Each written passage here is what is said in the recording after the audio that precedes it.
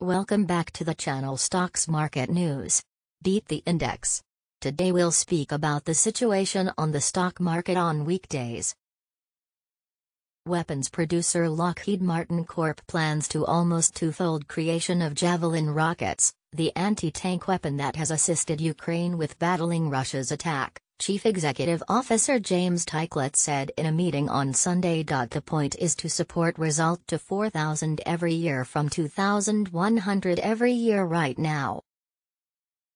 Vedanta Resources has proposed to move forward interest in Zambia's Konkola copper mines and implement several social responsibility programs if it resumes control of the neighborhood firm, an organization letter sent to the government showed.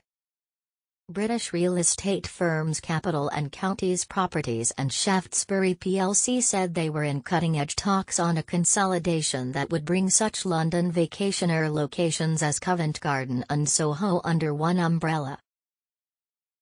Opera, the organization behind the well-known multi-stage web browser, has added help for BNB Chain in its crypto browser project. On February 15, Binance reported BNB Chain, which it alluded to as the evolution of Binance Smart Chain. Nigerian aircraft company Ibom on Saturday said it won't participate in an industry intended to prevent departures from Monday over the significant expense of stream fuel, saying the move would influence incomes expected to support commitments to financiers and suppliers. Last week, three prominent e commerce companies declined immediately, this event proved that people began to look for other ways for purchasing something.